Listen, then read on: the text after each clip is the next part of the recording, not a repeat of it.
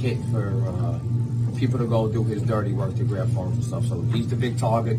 He's caused a lot of problems in New York City, and uh, hopefully we'll grab him. We uh, we get some headway in this.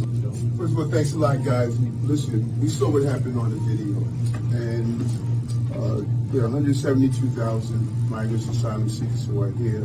Overwhelmingly, many are here just want the same thing all of our families want. For those who think they're going to come to our country, break our laws, assault our cops, that was not only assault on an individual, that was assault on our system of public safety.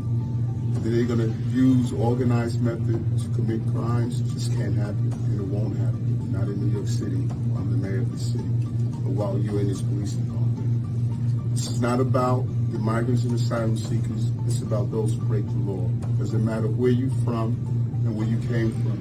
You break the law, you're going to feel the full weight go get these guys. We're here in the location in the Bronx. The gun violence team, along with the grand larceny team, just conducted a search warrant here. Migrants preying on vulnerable New Yorkers in New York City. Pattern 156. Over 60 victims committing crimes as robberies, grand larcenies, purse snatches. Guess what? This department, this agency is not going to tolerate that. We will find you anyone that commits any act of harm against one of our New Yorkers, we're going to find you, we're going to arrest you, we're going to bring you to justice. Got anything say? Nah, great job. Every, everything was handled, everybody left safe, and we put bad guys in jail.